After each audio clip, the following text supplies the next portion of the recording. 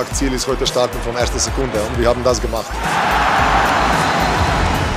Ich habe gegen die Europameister Spanien gespielt und sind spielerisch richtig, richtig stark, aber gut gekämpft. Wir haben ohne Chancen gehabt. Ich denke, zweite Welle, Gegenstoßtore gemacht und gut war, dann Jungs hat geglaubt, dann kann die heute Spanien schlagen. Das war schön, schön zu sehen und die Spanien hat bis letzte Sekunde gekämpft. Ja, wenn, sie, wenn ich eine rote gekriegt habe, war es sicher rot. Also ich bin äh, zu spät dazugekommen und äh, es tut mir natürlich auch leid. Und nein, nein, war so ein bisschen dumm, äh, weil ich denke, ich hätte der Mannschaft sehr helfen können. Es waren Kleinigkeiten, ähm, vergebene Chancen im, im Konter oder überhaupt vergebene Chancen und dann auch äh, technische Fehler, die uns eingeschlichen sind im, im Konterspiel oder auch so. Das darf man sich gegen so eine Top-Nation nicht leisten. Ich denke, sonst hätten wir es vielleicht noch spannender gestalten können.